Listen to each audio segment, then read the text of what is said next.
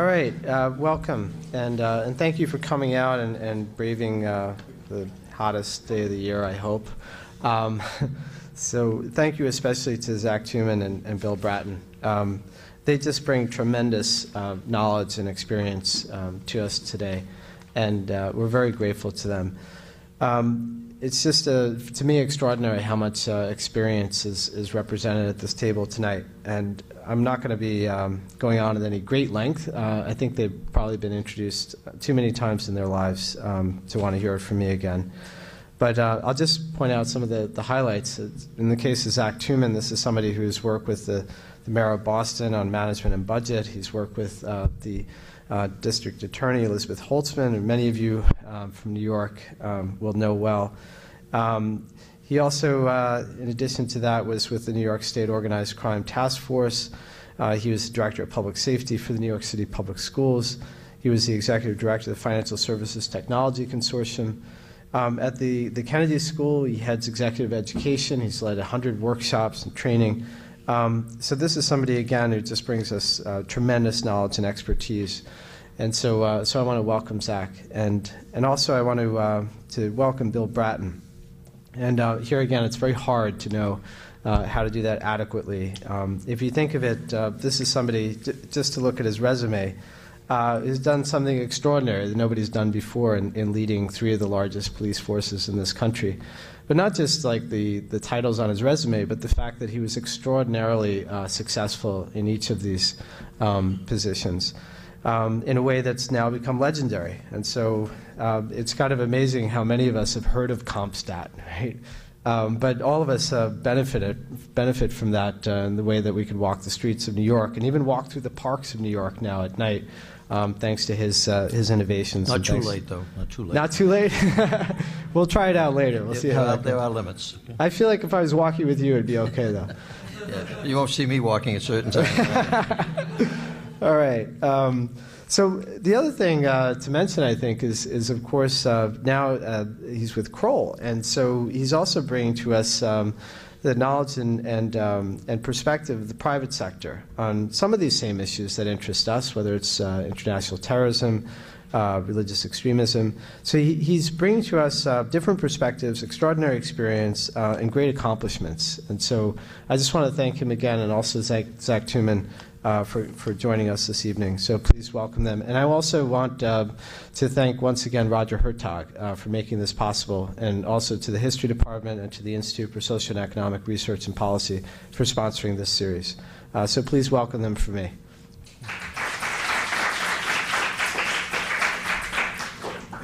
So, um, as I understand it, uh, Zach, you thought that, um, that, that you and Bill might uh, begin just laying out um, some of the things that uh, uh, inspired you to, to write this book together.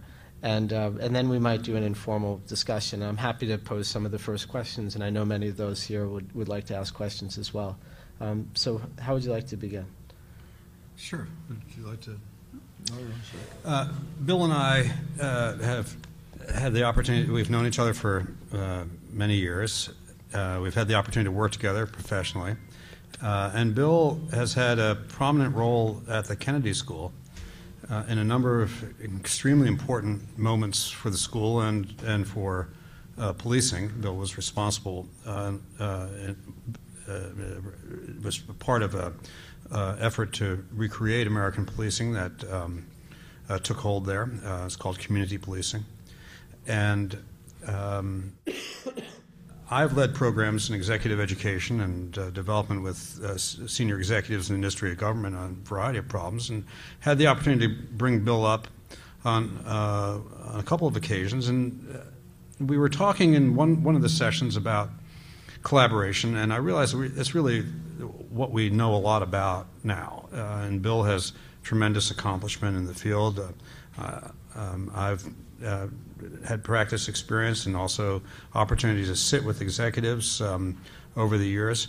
Uh, and as uh, although I was running the session, uh, my mind drifted, and I began to realize that there was an opportunity with Bill uh, to write about some of the important lessons that we learned, uh, to help others be effective, um, and to share the stories of men and women that we knew um, and we had worked with, uh, to help reveal some of the ways that, and important ways that people could come together uh, collaborating. So I approached Bill over a lunch break. I said, uh, why don't we do a general management book about collaboration? And uh, Bill uh, said, tell me more. And uh, from there, we developed the, the concept, we developed the stories. I would focus on uh, Bill's efforts in Los Angeles and New York, but it would be broader than that. And so in the book, you'll see, I think, five sections in which uh, Bill's experience in New York and Los Angeles are highlighted and explicated, and then a number of other stories. So, Bill, you want to add to that? The uh, book that's being referenced, and uh, Matt has it down that end, uh, is actually the second book I've had the uh, privilege and opportunity to collaborate on. The first was a autobiography with uh, uh, Peter Knobler that was a recounting of my experience, particularly in policing during a time of extraordinary change, and that was during the period 1970 to 1996 when I had left as police commissioner. The book was published in 1998. This book, which was published in January, is a continuation for me, uh, as far as my contribution, my stories in the book, of some of what happened in the NYPD in particular, but uh, my more recent experiences in the LAPD in Los Angeles over the period 2002 to 2009. The book is a book of stories. It's, it is a leadership management book, leadership in the sense that Zach and I deeply believe that issues of controversy, issues of change, issues of dynamics can be successfully addressed in public sector, private sector, uh, in the religious uh, sector, if you will, uh, through collaboration. And the idea of collaboration is certainly not new, um, but what we tried to do with the book was to uh, outline what we believe are a series of steps that, if taken, will significantly improve the likelihood of success for a collaborative effort. And there are eight steps that we've identified. So the, the heart of the book are those eight steps, and in the approximately two dozen stories that are told in the book, we attempt to relate those stories to the eight steps. The idea of collaboration always starts with uh, a leader, and a leader who has vision, whether it's Steve Jobs by himself as an individual, but if he did not begin to share his idea, that uh, we wouldn't have Apple. Or it might be the uh, three individuals who were involved with uh, uh, the creation of Google, who, if they kept it to themselves, would not have uh, the, the world of Google that we're so exposed to. Uh, Facebook, uh, I think it's within the next two years, three years, there'll be almost a billion people who will have friended each other in that uh, uh, uh, world. And none of this could have occurred without, we believe, the eight elements of a successful collaboration we talk about in the book. And uh, we also talk about uh, some failures, including my own failure with Mayor Giuliani when I was police commissioner, that we had a successful collaboration for a period of time, but then ultimately, as far as uh, our relationship, there was a failure there that resulted in my leaving the position of police commissioner after two years. So the book uh, uh, that uh, brought us to this meeting that spawned the invitation is called Collaborate or Perish. Kind of a harsh term, or perish. But if you think of it, that, uh, well, most of you in this room are a lot younger than I am, that uh, I look back to uh, companies and things that were going on back in the 1970s, and that uh, Wang, Kodak, Polaroid, names that were very big uh, in innovation during my period of uh, coming into policing, uh, no longer exist. They failed to collaborate with their customers in a way that allowed them to survive. Kodak basically missed the digital re- uh, uh, revolution that was going on around it. If you think of it, uh, uh, Borders, Barnes and Noble, tremendous competitors with each other, the big box bookstores. Barnes and Noble still, still there, hanging on by its fingernails, but what allowed it to survive was Nook. Nook basically allowed it to reach an audience that increasingly wanted to read on an electronic device and not necessarily a hard co- hardcover book. Borders didn't have a similar way of networking or collaborating with its patrons. It's now out of business.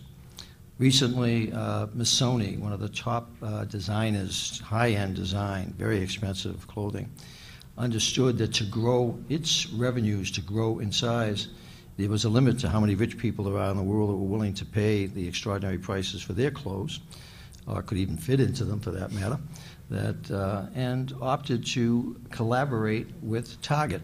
Target, a certainly middle-class, middle-of-the-road focus, and developed a line of clothing that uh, was so successful on its first day that the uh, website uh, crashed and you could not find a single piece of Missoni clothing in a Target store. It sold out that quickly. So a very successful collaboration. So that's the book in the sense of the emphasis that private sector, public sector, uh, personal life, uh, if you think of it, what's a marriage? A marriage is a collaboration where you agree to come together on a shared platform. Uh, both of you have a vision uh, uh, and are leaders of what you want the future to be. And uh, so, even in uh, the, the, the world of uh, personal relationships, collaboration is, is, an essential concept. Well, it's interesting you mentioned marriage because it reminds me of one of what seemed to me one of the, the paradoxes of the book, in that it's about collaboration, but most of the stories are about leadership, right? And so, is it necessary to have you know leadership in order to create um, fruitful collaboration? In a, in a marriage, anyway, it's often unclear who the leader might be, and that can change over time. So. I'm actually I think gonna take leadership- my jacket off if you don't mind. It's warm. I think leadership is essential. Um, uh, It's proven throughout each of the stories. Um, It's what stitches together uh, collaboration across a collaboration life cycle, um, from visualization to um, configuration of the problem to uh, formation of the shared assets that people will contribute to um, mobilization of support uh, for the collaboration, uh, to then realization of the effects, you know, the data sharing, for example, uh, and finally transformation to value from all of the assets that have been pooled together. It takes leadership to stitch that together. Bill's experience in New York with CompStat, I think, um, highlights that uh, very much. At the, on the other hand, um, the final chapter is Arab Spring. Uh, Arab Spring had thousands of leaders. Um, there were no leaders, there were many leaders. Um, people led in different ways, um, st- starting with the fruit seller in the square uh, in Tunisia. Um, he wasn't the first to immolate, self-immolate, but he wasn't. Uh, but it, it, it triggered the moment uh, of the day. Um, he led by his his own example. It brought many people forward and triggered finally um, um, a wave of, of, of, of discontent and uprising that uh, brought um, hundreds of thousands of Egyptians together in Tahrir Square over a period of days and finally caused the government to fall. We've seen the, the effects now uh, throughout, um, uh, uh, throughout the Middle East. Um, there was no leadership um, that of the kind that of the great man or great woman kind. Um, the great men, great women leaders who did arise fell to the wayside. Um, um, perhaps we're seeing the consequences of that now. Um, but does collaboration take leadership? Always. Is it, a, is it the great man, great woman? Sometimes. Um, increasingly now, the digital age permits leaders to arise in many different places for moments, for days, for months, um, um, singly or together with 1000000s Okay. I think it also requires, if you think of it, uh, identified leadership. Um, Currently, what's going on in Egypt, um, a significant part of the movement or uprising there um, has found itself muted in the current uh, standoff between the uh, two factions, the military and the um, other faction that uh, competed in the election. And that that other group, the group that did not have identified leaders, has in some respects lost its voice to the other two. Uh, the Occupy Wall Street movement that had so much momentum and spontaneity to it and celebrated that it didn't have leaders I think its lack of identified leaders ultimately caused its significant reduction in impact size and, uh, voice. That, so uh, you might be able to advance with a, a, an anonymous leadership or a group leadership. But my own feeling is that uh, it needs to coalesce into a, a Steve Jobs or a Google or a consortium of people who clearly are willing to um, do what leaders do, which is uh, create change, uh, become the change. Gandhi had a wonderful expression, to paraphrase, something to the effect that uh, to create change, you must become the change. And he was certainly uh, the living embodiment of the change that he was advocating, that trying to create a, uh, a free India and a, uh, an India that uh, could rule itself. And so, in terms of leadership, it's, I think that the network world today allows anybody to have their 15 minutes or allows anonymity to exert leadership. But unless it identifies itself and identifies itself in a way that can continue to inspire and attract others, it'll eventually dissipate Mm. and, and, and the collaboration will uh, fail.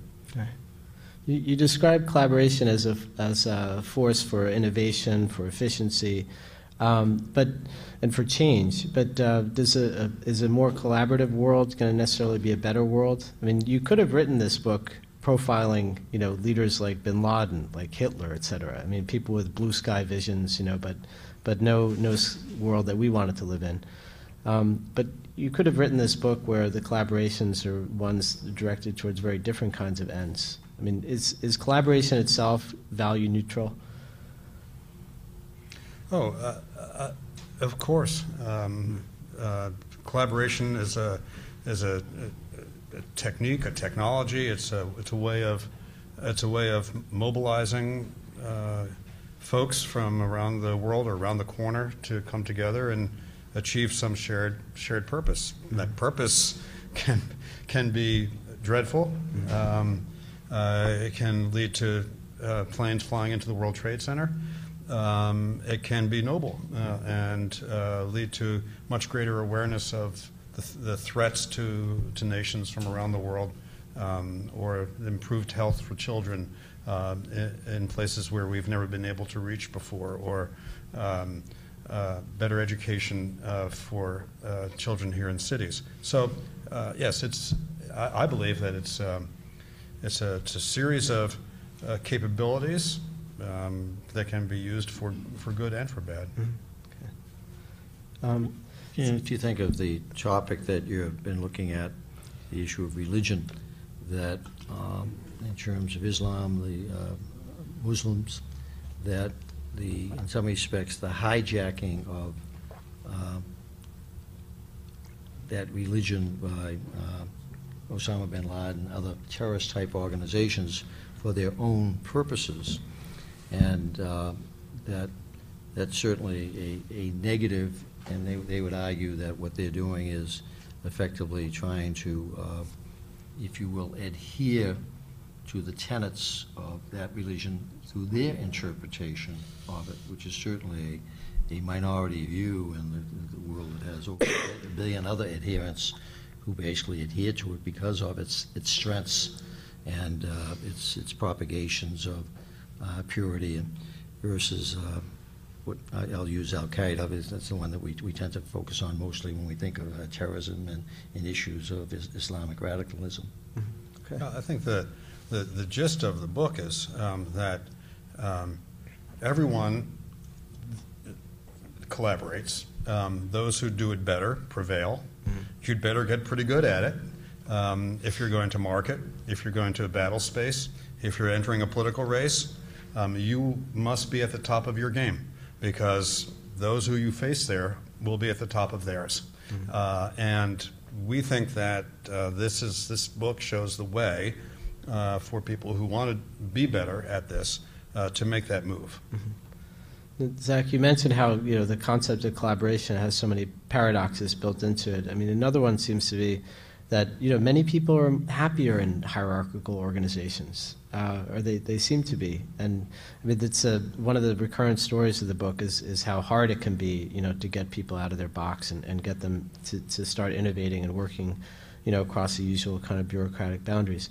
But um, I mean, more collaborative environments are inevitably more demanding, right, on particular individuals who are part of these organizations, aren't they? And, and some people will respond to those demands and, and thrive, and, and others just want to, you know, put in their hours and, and go home.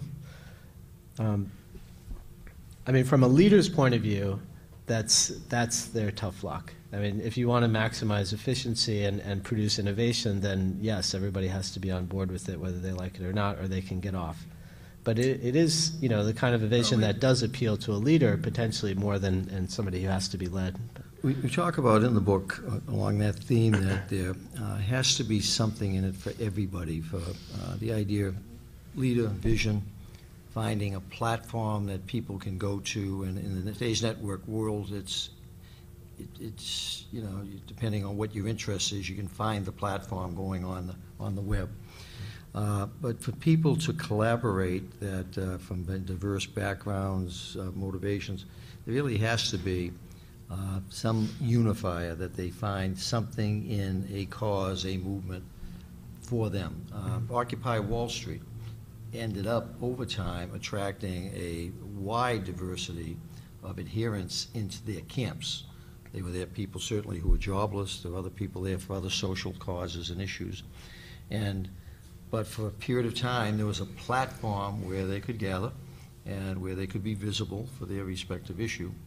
And over time, that began to dissipate. But uh, it really is uh, kind of an extension of uh, Jim Collins' uh, uh, book, uh, Good to Great, and the idea that in managing change in an organization, any organization, public sector, private sector, something I adhere to, that he has an expression about get the right people on the bus, the wrong people off the bus, meaning those that don't share the vision, and get the right people in the right seats, which goes to, I think, the point of your question that uh, you know, some people want to be leaders and be risk takers. Others are very happy to go with the flow. And uh, there's nothing wrong with that. There's big bus, a lot of seats on the bus. You want to sit in the front, you want to sit in the back, want to open your window. Uh, but you're all still going in the same direction. That, uh, so one of the things about collaboration is to try to find a big enough platform that you can attract uh, more and more people, despite their particular motivations, but you want them to come to the, central theme, if you will. Mhm. In the case of the bus, they all want to get to the same destination. Mhm. Um, Hierarchies are good. Um, hi- We have them for a reason. They, they, um, they're, they can be efficient, they can scale, um, they can deliver a consi- consistency. Um, uh, But they can be constraining. Our colleague Steve Kelman has a book called Unleashing Change. And he characterizes uh, the readiness of change in organizations.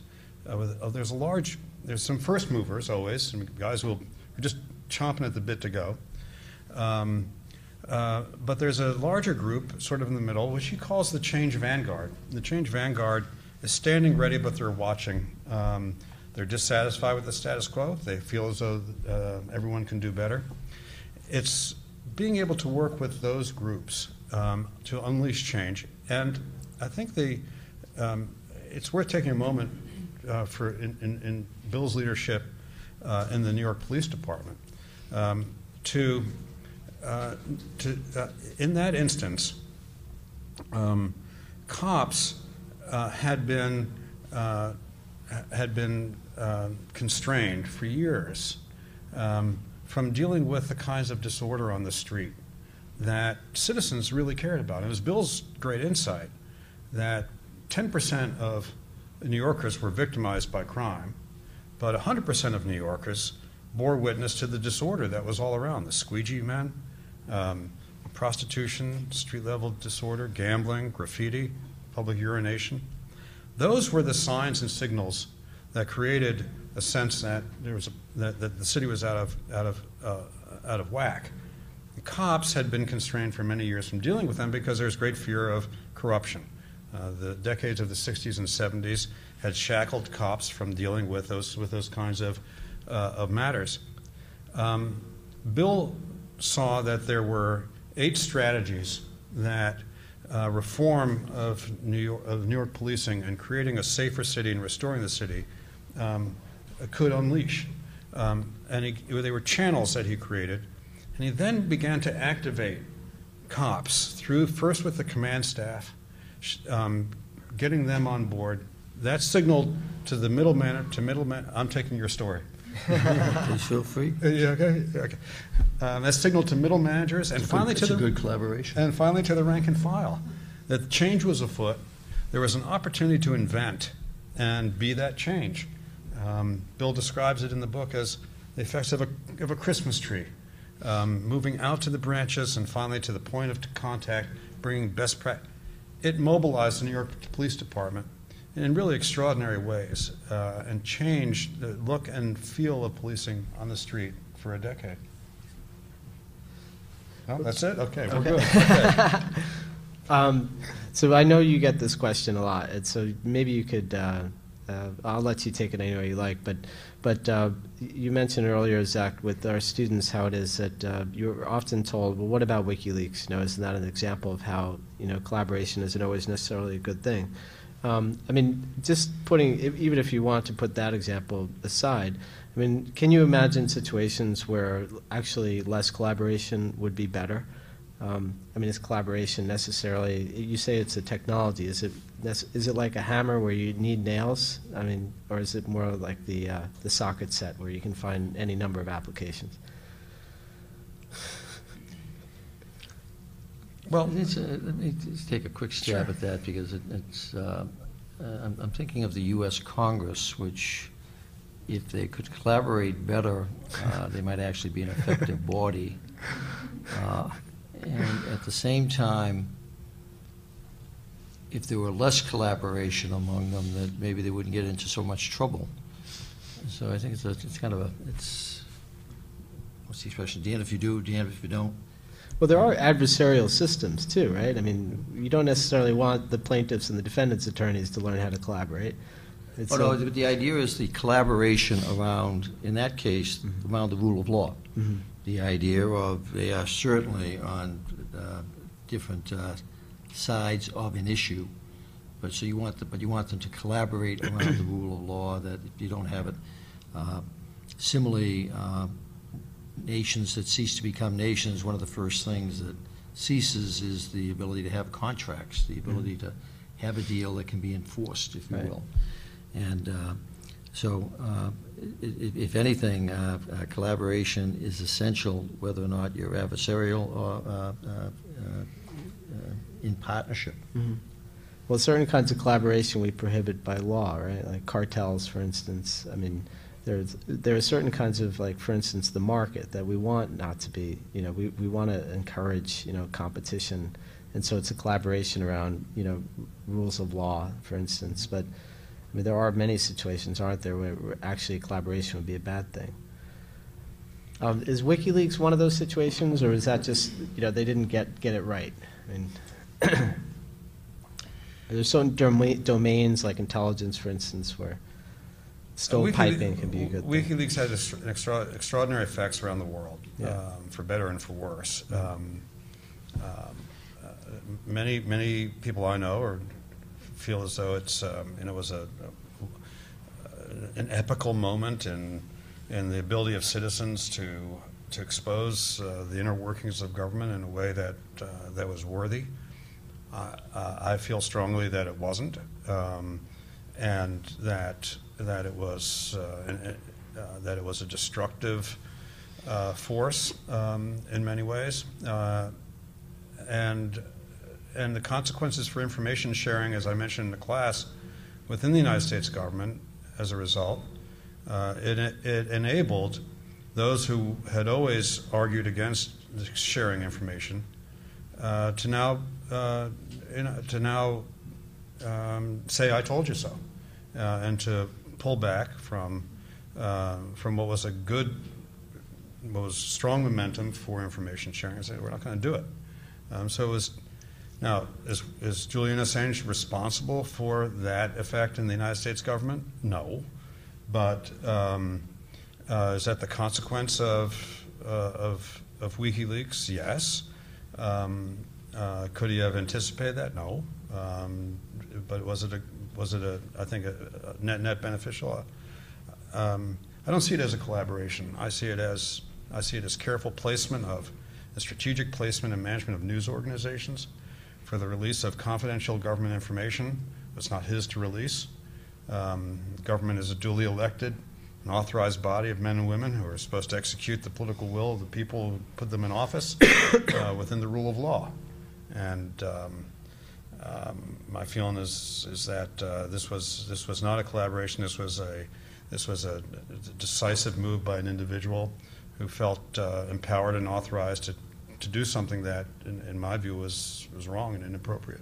But it was taking advantage of a collaborative platform, one that had been set up to try to um, reduce the stovepiping of intelligence, right? I mean, th- that was the original source of the, of the leaks. Well, the original, Yeah. well, the, the source of the leaks were, were uh, computer records that, um, that uh, he obtained uh, from uh, military personnel, um, and that, uh, eh, that, um, uh, uh, and that he then worked hard to place with selected news organizations strategic leaking.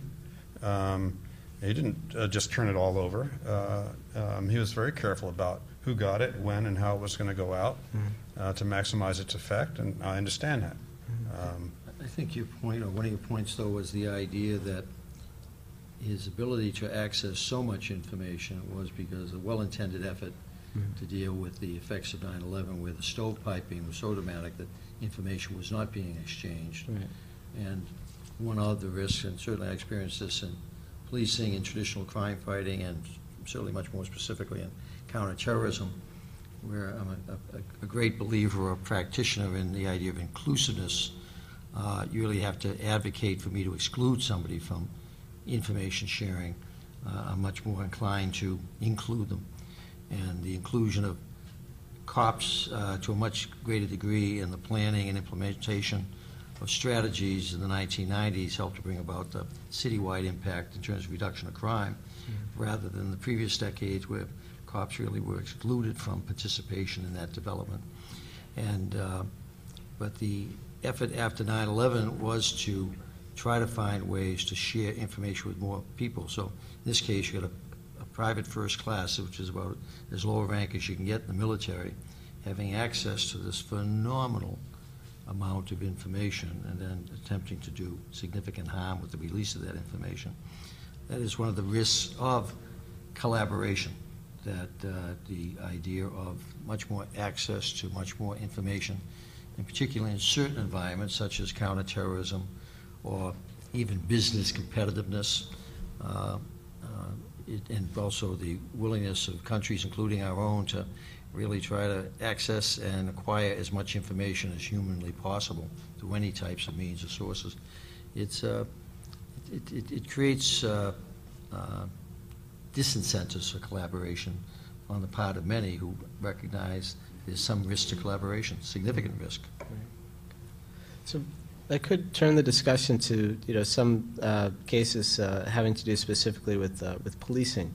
Um, So, you know, one um, area in which collaboration has, has been considered particularly important is the way in which, um, you know, police learn to collaborate with the communities, you know, in, in terms of understanding the nature of crime, you know, and, and, um, and establishing relationships, establishing trust, and, you know, many would say that development of community policing is one of the great success stories, you know, of the last, you know, 20 years or more, perhaps.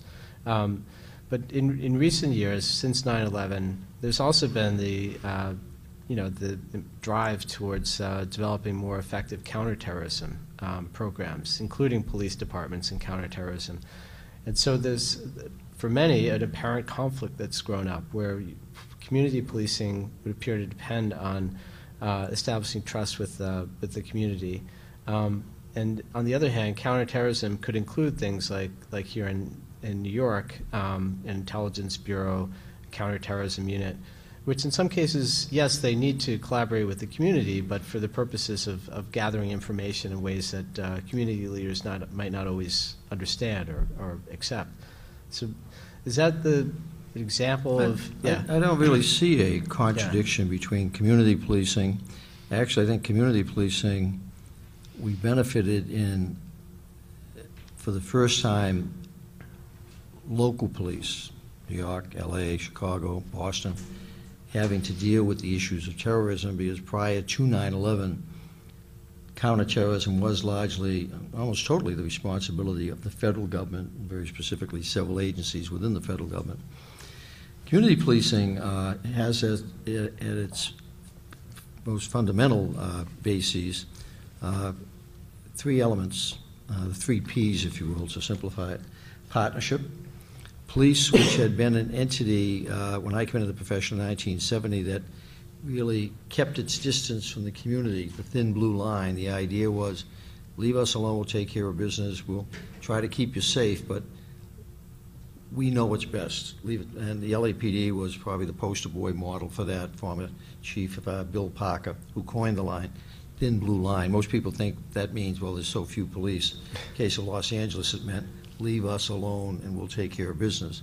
Unfortunately, that business oftentimes was oppression of the, the city's minorities, particularly its black community, and the alienation of police in that community. There was certainly no partnership between the police and community.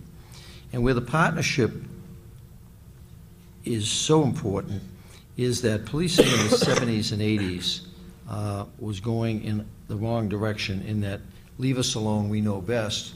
But what police tended to focus on was the more significant crimes, the things that made the newspapers, the crimes that they had to report to the FBI twice a year for the National Uniform Crime Report. It's an expression, you can expect what you inspect. And so the expectation was you're going to have to uh, report crime to the FBI, so that's what you focused on.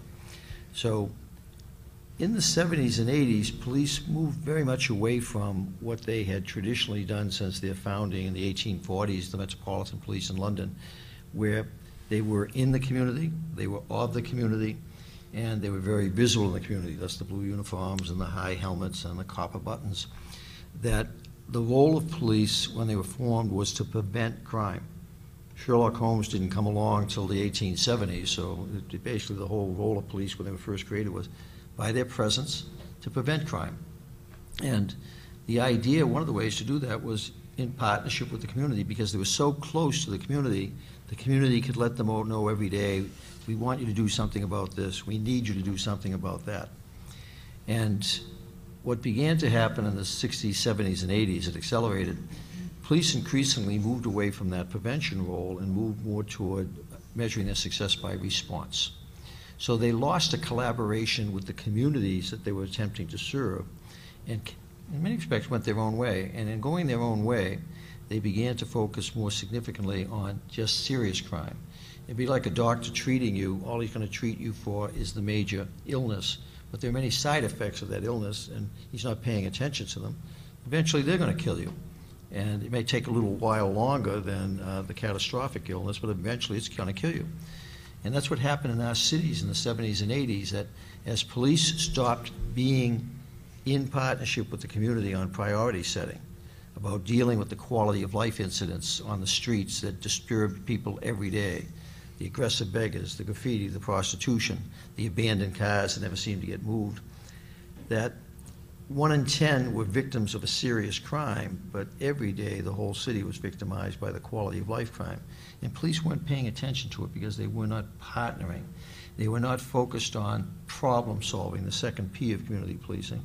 And they weren't focused on prevention, which was why they were created in the first place.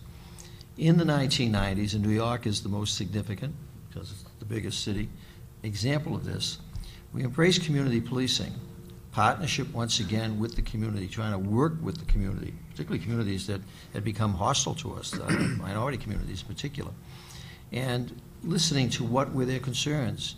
You know, we, do, we, we don't want to be accosted every time we drive into the city by the squeegee pest. We don't want to be accosted every time we go into the subway by somebody aggressively intimidating our tokens from us. And the idea was police once again return to a role of basic role of police is to prevent crime rather than measure our success by responding to it. And that's what happened with policing in the 90s. Now, how does that not contradict the idea of counterterrorism. If you look at the various books and reports that have been written about the events of 9/11, central to every book that's ever been written about it is a criticism of the lack of coordination or collaboration. In some instances, required by law that the FBI could not talk with the CIA around issues of uh, terrorism. How foolish that now seems in hindsight, but that was the law. Well, the idea of counterterrorism to be effective requires partnership, certainly among all the agencies that are gathering intelligence and trying to act on it. It requires, after 9/11, partnership with local police, who they never had to interact with before. And believe me, it took us a couple of years to really force our way into the room, into the meetings with the feds to say, in this new era of terrorism, local police have to be involved because the homegrown terrorist is going to be much more a factor than the external terrorist. And that's effectively where we are in our country at this moment. Three quarters of the efforts that have been uh, attempted over the last 10 years were homegrown. They didn't come from outside the country, they were grown here. And three quarters of the detection of those incidents was done by local police working with information from local people. So the collaboration after 9/11 had to be significantly expanded because 20 or 30,000 federal agents could not deal with the new threat. But 800,000 police and 300 million Americans could effectively do that. And the collaboration is not without risk. The, the, the idea that the cost of battling between the NYPD and the FBI over who's leaking what secrets that uh, uh, spoil what investigations. But think of terrorism. It's partnership. It's problem solving. How do you identify with all these strands of information where there's likely to be an attack, and why do you want that? So you can prevent it. So I would argue that we benefited in 21st century by finally in the 20th century finding a successful philosophy of collaboration that could provide a foundation for the necessary collaboration that's going to be necessary in the 21st century. I mean, but surely that partnership with uh, community leaders, especially, you know, say the leaders of the Muslim community, is going to be complicated when... It's extra- it's Yeah. extraordinarily Right. complicated that, uh, uh, in Los Angeles, for example, was chief of police there, seeking to create a very strong counterterrorism operation there, because LA, like New York, not to the same scale, but is clearly, based on all the information that we dealt with and some of the efforts that were made, was a, uh, one of the most likely terrorism targets in the United States. And so we needed a strong counterterrorism operation. But we also needed to much better understand the communities that we we're going to have to interact with. Traditionally, when we tended to think of terrorism, we tend to think of, uh, uh, particularly in large cities like Los Angeles and uh, New York, the Jewish community being the subject of a lot of the terrorist attacks that had occurred in the past. In this new era, that a community that's very likely subject to that type of attack and retaliation uh, uh, initiated against it is the Muslim community. That the idea of 9/11, the feelings of anger directed toward that community because of the uh, religion and the religious bases of the 9/11 assault. And I remember in uh, Los Angeles, we were making a very concerted effort to reach out to the Muslim community, very similar to what we were doing with the totally alienated African-American community and the at-risk Latino community that, with their large immigrant population, were very fearful of the police because most of them were coming from countries where they had good reason to fear the police. So we were reaching out and making very significant inroads, trying to learn who is the Muslim community. It's not this monolithic entity, that, that it- it's, it's a faith that has many different factions to it. Clearly, you see that in Iraq and other places where the internal civil war, if you will, is based around the issue of which faction or which, which branch of the religion are you a part of. But we had very little understanding of the Muslim community, Muslim faith uh, in policing, because they tend to be an extraordinarily law-abiding community. But our interaction with them was, by and large, minimalist, not too much criminal activity other than when they were victimized. And uh, really, certainly not an understanding of the faith itself and the various uh, uh, elements of faith within the group. So we began an effort to uh, try to understand that community. And similar to what we had done with the Jewish community for years, we attempted to identify where were houses of worship, where were schools, nursery schools, where was that population, where did it live? In Los Angeles, it was a very diverse community. There was not concentrations of tens of thousands in one area that you could identify that's a Muslim neighborhood. They had, in the previous 30 years, uh, uh, uh, basically assimilated very significantly into this very large county. And oftentimes, because of the newness, that they did not have identifiable mosques, if you will, like churches with spires and cupolas. Oftentimes, they were still in storefront environments, they were still in environments that were not re- readily recognizable. So we began what unfortunately was called uh, a mapping exercise. And uh, we worked with leadership that we've been engaged with in the Muslim community, and they uh, uh, responded that understanding what our purpose was, and the idea being that if there were to be a significant attack and it was identified that it was a Muslim radical group responsible for it, there might be retaliatory efforts directed against Muslim places of worship and schools. And we needed to know that so that we, the police, could effectively secure those areas. Very much what we do with uh, Jewish communities or others.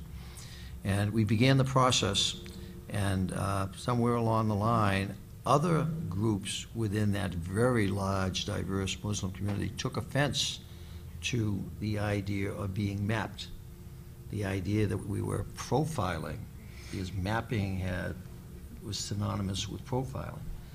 So a very well-intended effort really became a source of extraordinary national controversy, where one faction in the community felt threatened by this activity that another faction, another leadership faction, had felt was a good thing for the community.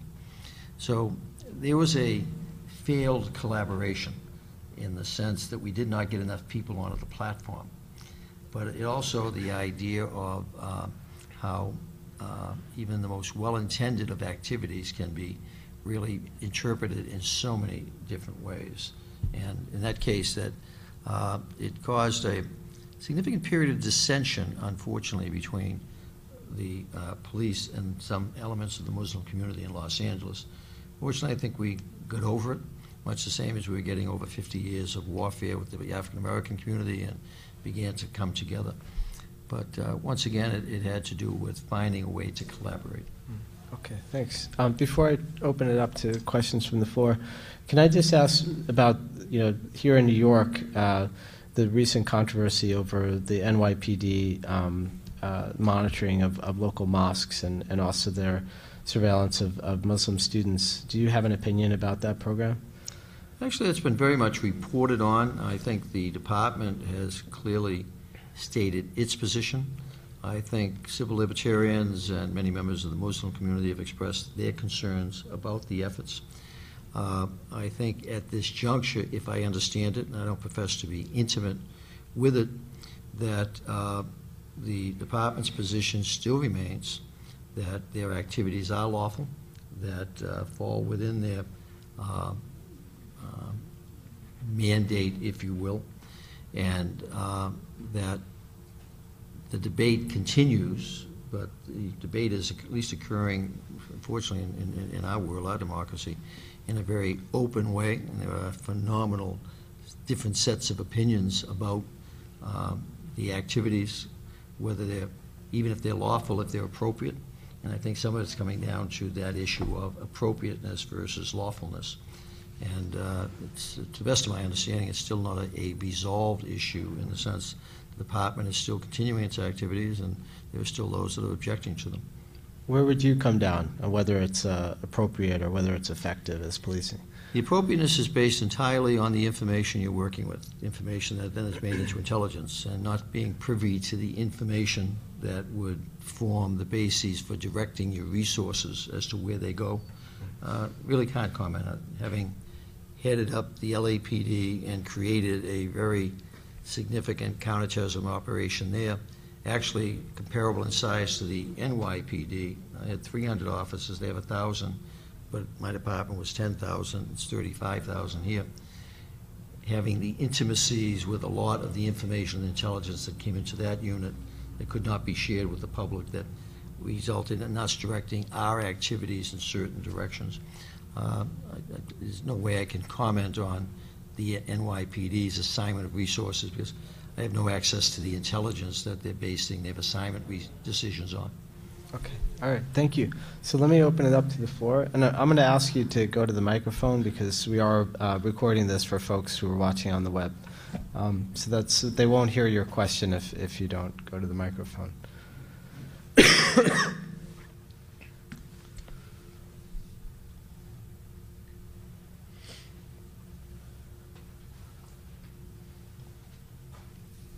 Good afternoon. I'm Alice LaBrie, and I'm, I'm former uh, U.S. Department of State Foreign Service and resident here in Harlem. Is that microphone on? I Uh, am speaking up. Is it on? Cree- Uh, Able technician is hurrying over. Okay.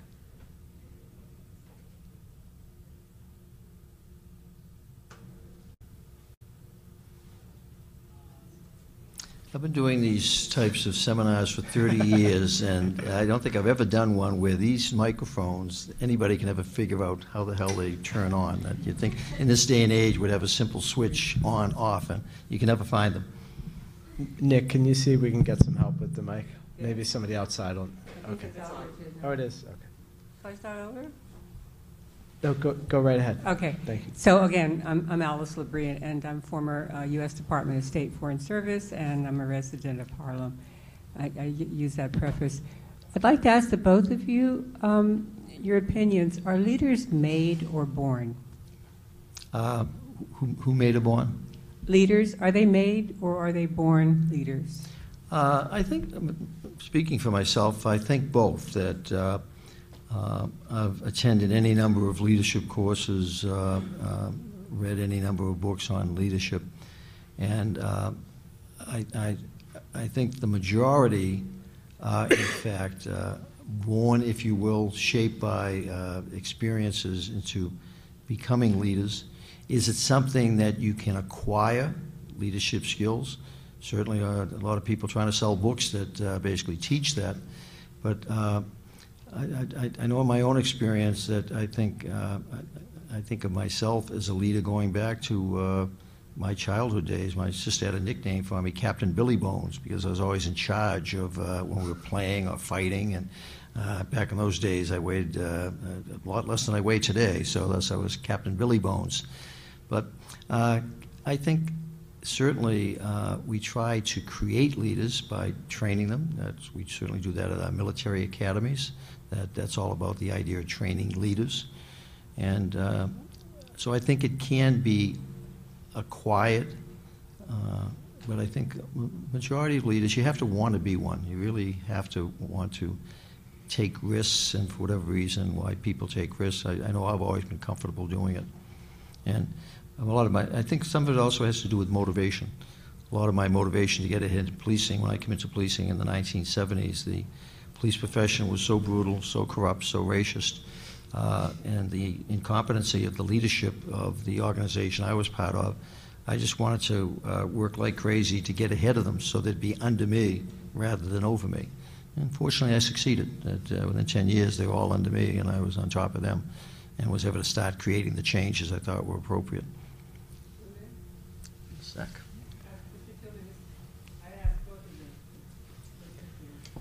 I think leadership comes in many shapes and sizes. Um, uh, different uh, people are uh, prone to it. They have personalities. They enjoy it. Um, others can be brought along. Um, they may not, may not realize that they are the right person to be that that kind of uh, uh, to, to be a leader. Um, uh, are they born? Are people born to be leaders? Many who may be born never are. Um, uh, many who um, uh, who are not born to be leaders can be brought along. So I think it's uh, there's a, a balancing between uh, uh, by example, by training, by proclivity, some mix, um, and uh, whether one's successful or, successful or not um, has as much to do with the, the turns of fortune um, as um, whether you're born to it or whether you're trained well for it. One of my favorite quotes, I love quotes, quotations, Uh, As a young boy, we attending a movie with my uh, dad, I probably was only about eight or nine years old. James Cagney was starring in it. It was called The Gallant Hours. And It was a depiction of uh, Admiral Bill Halsey, a very significant naval hero in World War II around the Battle of Guadalcanal. I'm currently reading a, a book about four admirals who were working with him in uh, World War II. But at the end of that movie, uh, Robert Montgomery was the narrator uh, of certain portions of the movie. There was a quotation that was applicable to Bill Halsey, whose World War II experiences has just been depicted.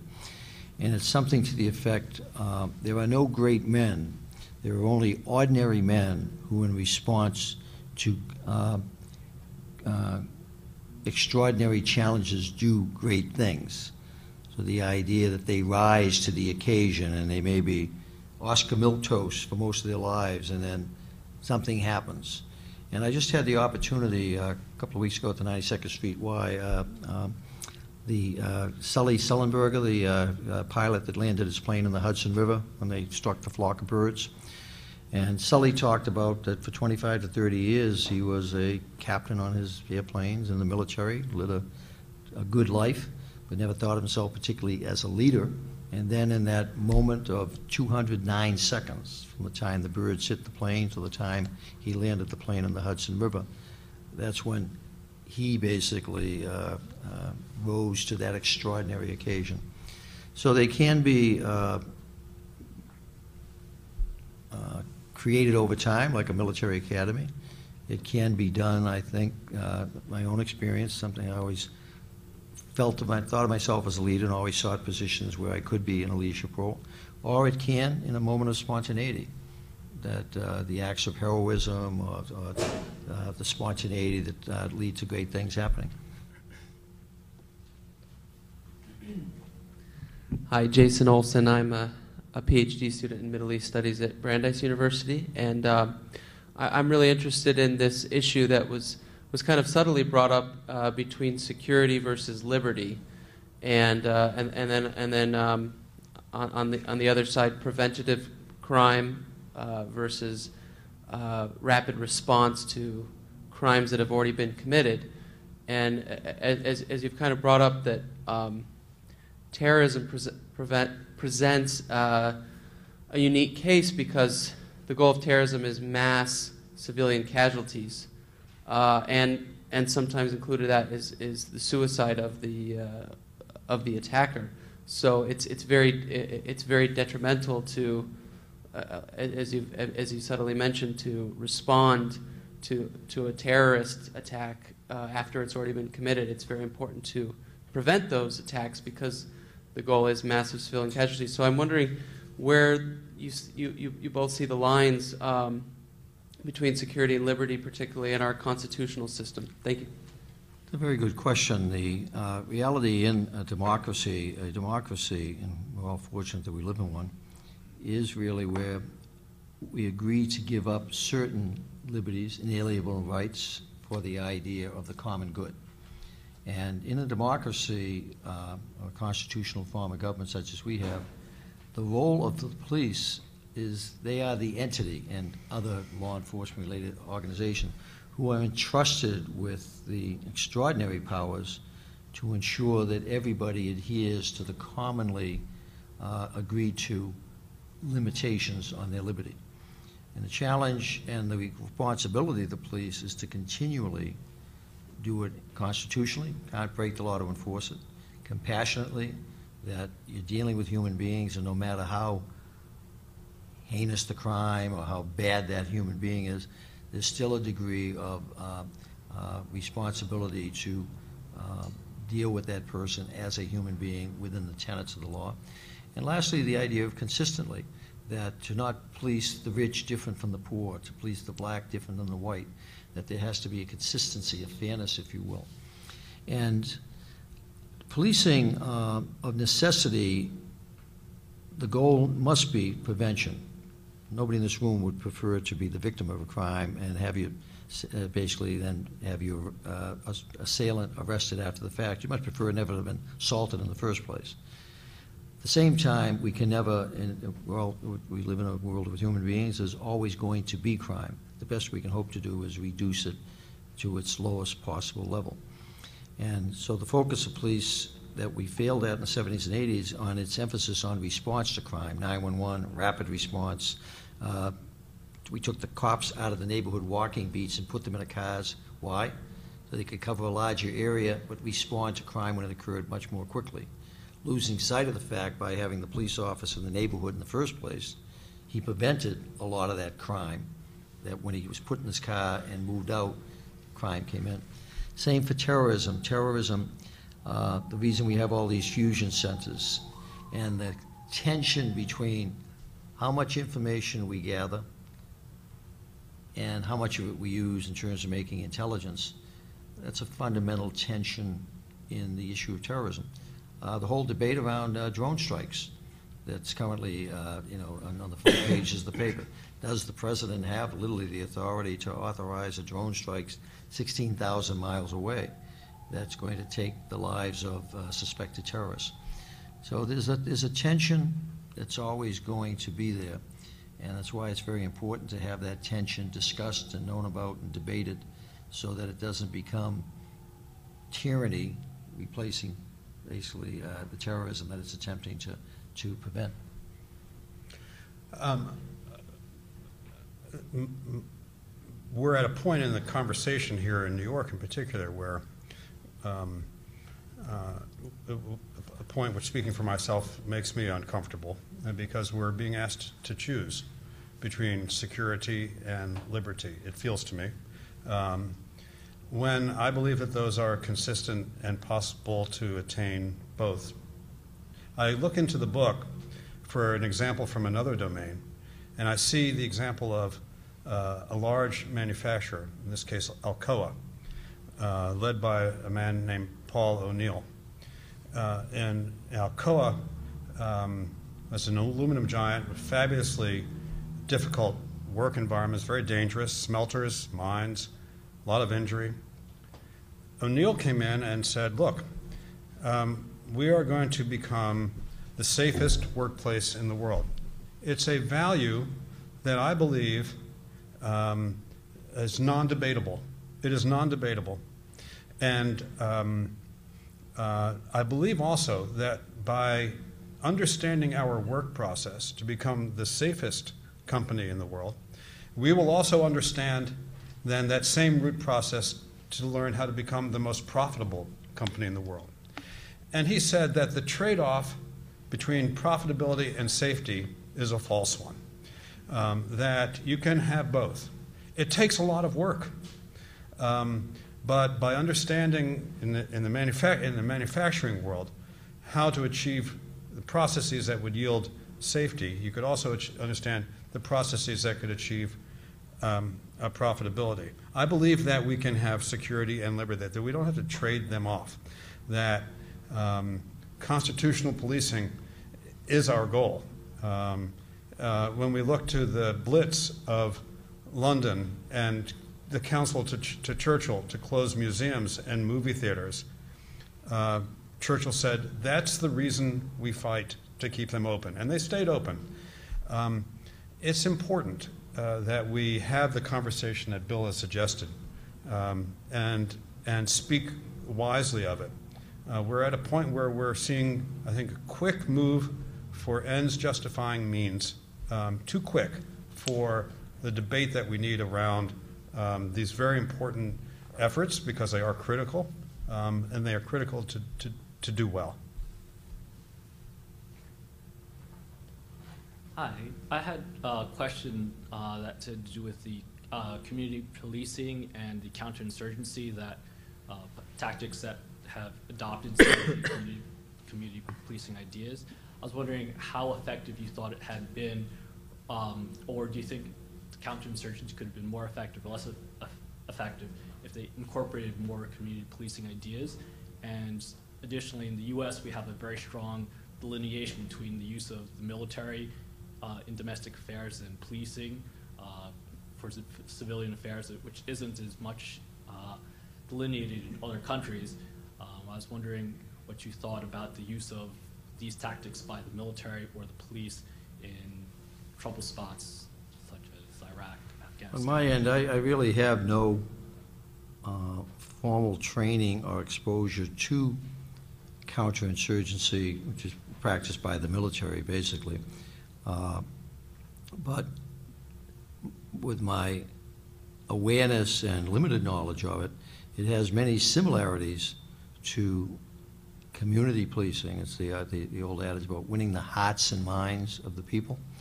The idea that why we're there is to try to uh, secure the benefits of democracy, if you will, and that's what community policing is all about, the idea of to be able to live in a neighborhood and to be free from harassment and free from fear.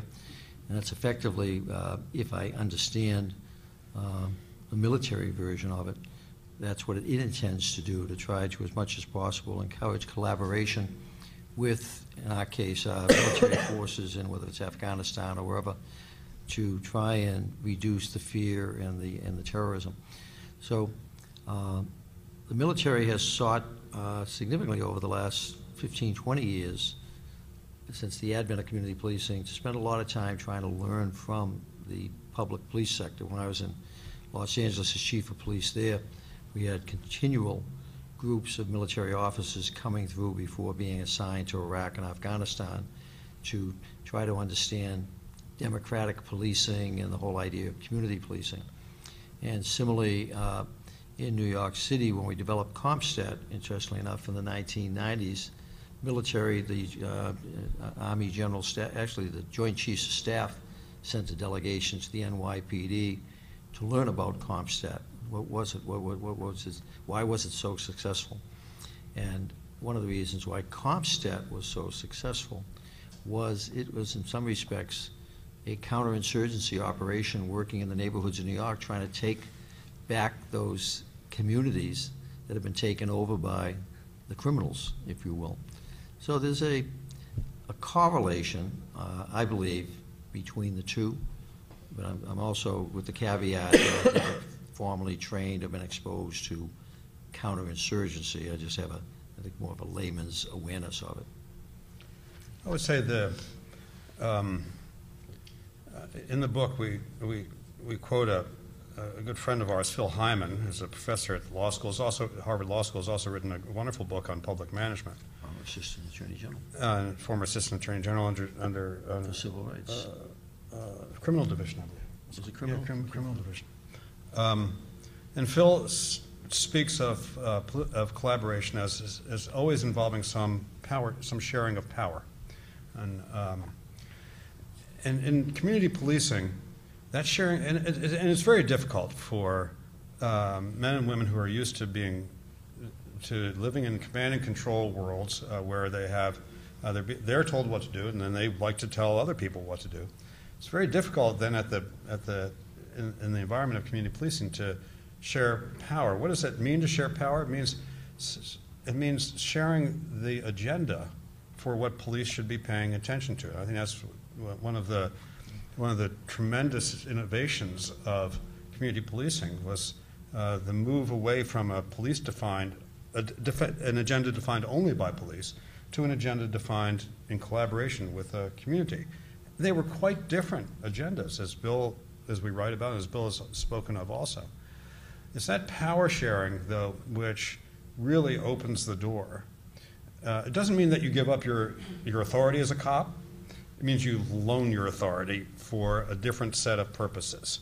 It doesn't mean that you, that you expect uh, citizens uh, to go out and make arrests or to be crime fighters. As Bill has noted, people come home at night at 6 o'clock, they don't want to go out and fight crime. They want cops. That's what cops are for, right? Um, they want peace and peace on the stoop, quiet night with television, dinner to bed, uh, or, or, or a lively night, uh, as you might wish. She lives in a lively neighborhood. I live in, I live in a very lively neighborhood. I live in Washington Heights. Um, uh, but it's that power sharing, I think, which is at the which is at the heart of both what's difficult and important, whether in counterinsurgency operations and building hearts and minds relationships, or in community policing. It's difficult, and it really takes leadership in many, many ways all around. So. Uh, this is a question for Bill Bratton. Uh, you talked about how um, when you went to LA, one of the things you did was try to uh, reach out to the African American community, which had been marginalized by the LAPD. And I'm wondering what techniques and, and what strategies did you use um, with the LAPD to get that rapport back between the community, the African American community, and the LAPD? It was really the idea of reconnecting with a community that had uh, become totally alienated from the police, and the police had become totally alienated from, the, uh, from them. And it was really the idea of, of going to that community. I before I went in, before I go into any police assignment, I always do uh, my homework, if you will. And in Los Angeles, the idea of identifying who are the key players in the various communities, both political activist leaders, uh, those that support, those that are against. And uh, you start with the leadership of the various communities. And the Christmas tree effect that Zach talks about, you start working your way down the Christmas tree where you start reaching larger bodies of people. I spent a lot of time in church basements, living rooms, school auditoriums, in good times and in bad. And the secret, asp- the, the, secret of it is to spend more time there in good times. So when something does happen, you've built up at least a reservoir of recognition that this isn't the first time you've been down there, that you were there in the, in, in the quiet times. And uh, it resonates. And then it's the idea of, uh, as a leader, uh, surrounding yourself with other like-minded uh, people. And so in my case, that would be the 100 members of the Los Angeles Police Department command staff, who in the seven years I was there, each and every one of them was appointed by me, promoted by me, and assigned by me. So I was able to, the Jim Collins analogy, get the right people on the bus, and then I could get them in the right seats. But to a person, they were committed to restoring the reputation of the LAPD and its re- relationship with that minority community. And we were so successful in that regard, in that when I left after seven years, the three African American newspapers uh, were all very complimentary of that period of time in terms of the positive changes that have been made. I can quite honestly uh, say to you that uh, I don't think there was a single significant black political leader, uh, civic leader, community leader that was uh, openly hostile to the department, and that was not the case when I got there, because they all were, from Maxine Waters on down to some of the local uh, uh, uh, uh, black Muslim leaders. And uh, so that had changed. And the LA Times editorialized that a corner had finally been turned on the issue of race relations in LA. Hadn't, we turned the corner. It's not, it's no, where, where we are is nowhere where we want to be, but where we are is a lot better than where we were. So it really uh, is a combination of leadership, collaboration, getting more people onto the platform. And another example of uh, how it had changed, when I was selected as police commissioner, a police chief, uh, the controversy around a white police chief coming into that department, the African American community was enraged by it because I was replacing a black chief who had replaced a black chief. And they- that community felt it had finally gotten possession of the leadership of the department and saw a white coming in as a regression back to the bad old days. And uh, ultimately, I ended up being more successful than my two black predecessors in that position. And the uh, ultimate sign of success was that when time came to select my successor, that the three final candidates were all white males. And the African American community expressed no opposition to that because they knew each of those three white males because they had seen them so often in their community and knew them. And uh, it's the idea of uh, collaboration allows you to know people and, and understand them and appreciate them. So it's uh, still a significant work in progress that, uh, but compared to what it was 20 years ago or even 10 years ago, it's come a long way. Uh, Thank you for the talk. Uh, And I think you course- two may be the last two questions. We get, we're getting pretty close to the witching hour, 7:30. Yeah, uh, of course, within an organization with a common pursuit of a goal, uh, collaboration makes an intuitive sense to me. But I guess for me, the bigger question is how do you quantify, how do you measure the success of any project of collaboration? I'd like to give two examples. I mean, even in marketplace, let's say now we can say that Kodak failed to sort of collaborate within its stakeholders and all, but if you just go back in time, it seems arbitrary. If we were having this conversation, let's say 1990, we'd give Kodak as an, an exemplary example of how a company should run itself. But then over time, we tend to realize that we tend to either overestimate or underestimate and fail to predict the future outcomes. So that's one example in marketplace. But if you look at any projects of social engineering, and it is very difficult to establish any causation saying this is the consequence of a certain policy or certain plan. So you, you guys give an example of uh, Arab Spring, but of course, right now it will be easier for us to pinpoint one vendor saying he burned himself, and that triggered the entire process. But in, I guess the truth is that people have been organizing against oppressive regime for 40, 50 years. And the whole emergent properties of complex systems, how do you really sort of wrap your head around the epistemological challenge of establishing success? I- I would answer uh, your your question, if I understand it correctly, with the idea of uh, um, Malcolm Gladwell's book, The Tipping Point. The the idea that the individual who uh, basically uh, burned himself to death uh, was the tipping point, that it had reached a point where, um, like an epidemic, it builds to a momentum where all of a sudden it explodes, it exposes itself. AIDS, AIDS was around for a decade before it was finally recognized that we had an epidemic. And it tipped, and then we began to pay attention to it, and unfortunately began to come up with some resolution, if you will. But uh, Gladwell, in his writing about tipping points, it's, Kodak was in ascendancy for most of its history. It dominated the film industry, but when the digital revolution came in, it didn't go with it, and its fortunes tipped. As much as it had succeeded, it didn't take long for it to, to, to basically lose momentum. Gladwell, the inspiration for his book, interestingly enough, was uh, the subway, New York City subways. That he did an article in the New Yorker magazine in uh, the 1990s on this thesis he was developing, and used by way of example in the article, and then subsequently in his book he expanded it to the city as a whole. But in the article, it was referencing how bad the disorder and fare evasion problem was in the subway. It just kept increasing exponentially. Three and a half million people voted every day, and every day 300,000 people didn't pay the fare. And that number was increasing because there was no control over all this, this increasing disorder.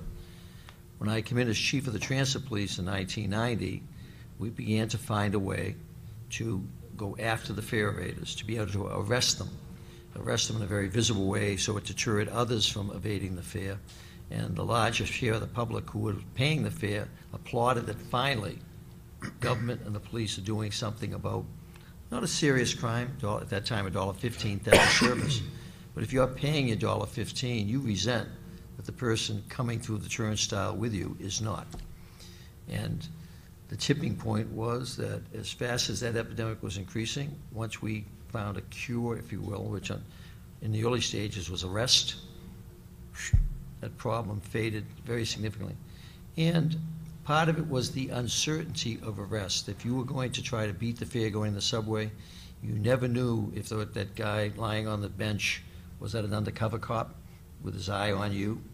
And as recently as uh, uh, two weeks ago, they arrested a couple of kids not paying the fare, stopped them, and they're carrying, uh, one of one had a machine gun and the other had a a pistol on him. That, uh, so- so for not paying the $2 theft uh, fare, they ended up arrested. So tipping point is a, a, an element to address, I think, the issue you raised, if I understood the question uh, correctly, or one explanation of it. There's a story in the book told uh, about a man named Steve Ellis uh, at Wells Fargo, and um, it's a it's a story about the value of collaboration over a long period of time with customers. Um, and Steve was responsible for moving the commercial side of Wells Fargo from brick and mortar banks online, Um and um, uh, his initial designs he created a small, fast-moving, agile team of developers and web guys, and they moved out of Wells uh, to a hipster neighborhood in San Francisco. They were all looking at Silicon Valley and liking the startups, so they created themselves as a startup. And it, as they rolled the initial version of the commercial electronic portal out, uh, they had to design it themselves because their customers really didn't have a sense of what they wanted or what they could do. But Steve began then to uh, bring the uh, electronic portal to wave after wave of customers, thousands and thousands of customers. They began to live in their customers' banks um, to understand how they did their work and how they could. They built the relationships. They integrated their systems to the point where uh, uh, Danny Peltz, Steve's uh, number two, said, "We now don't know where our systems begin and their systems. We created such dependency, right?" When, and what that did was that let them move very, very quickly in the marketplace when new opportunities were. They had the relationships going. They made friends before they needed them. Uh, in the words of Tip O'Neill, and as Bill has mentioned, um, they were able to roll out innovation after innovation, version after version of, and triumph in the marketplace. When Steve uh, brought Wells first onto the uh, onto onto onto online uh, onto the internet on the commercial side, Wells was doing less than a trillion dollars a year in transactions, about 975 billion, and commanding fees off. A decade later, Wells now does 11 trillion dollars a year in transactions online. Their growth has been spectacular. The work that they do on the internet is extremely people intensive. It is people, they have to engage. Uh, Ellis and his team live and travel around the world, constantly meeting with customer groups to learn and to stay engaged. So um, uh, uh, collaboration uh, pays. It's hard, hard work. Uh, there are no silver bullets, um, but the engagement then builds these relationships that go on for a very long time, gives you all sorts of competitive advantage. So it's entirely ascribable to that philosophy of, of engagement, um, and the results um, prove it. Thank you. And last but not least, Hi, I just want to ask a question about um, the role of trust in community engagement and um, community policing and partnership.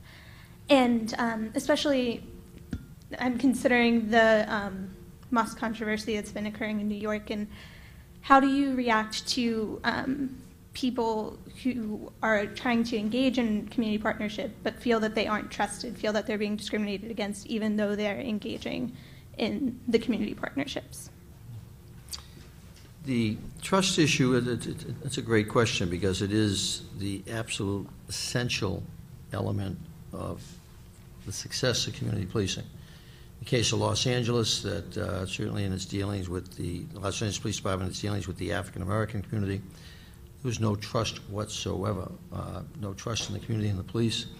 And the police, their sense of that community was one that, uh, of uh, uh, lack of trust and respect also, the, the, the, the crime that, that, they were dealing with in that community, and uh, the lack of respect that they were getting, not understanding that the lack of respect they were giving was creating a lot of what they were receiving.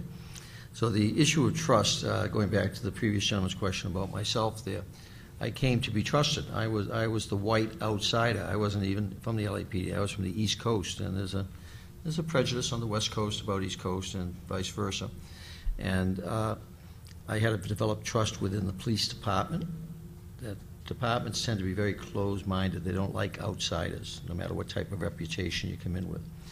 So it was very important to win the trust in the department because it was going to take it in directions that it initially did not want to go. It was not interested in working with the African-American community because what I was dealing with was a department that had been at war with that community. Over seven years, I hired 3,000, 4,000 new police officers, so they were coming into a different environment in which the history of tension was not there for them. And uh, the issue of trust, uh, it, it's, I think it's, uh, in some respects, isn't that what uh, the issue of leadership is about? People tend to, the best, best leaders are those who are trusted rather than, I think, those who are feared.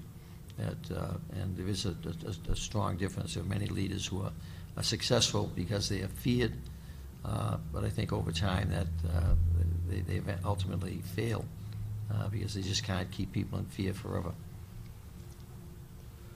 Okay. Perfect. Okay. And All right right, on well- time. I think we're out of time, but thank you again. Uh, Please uh, join me in thanking Bill Bratton and and Zach Tumin.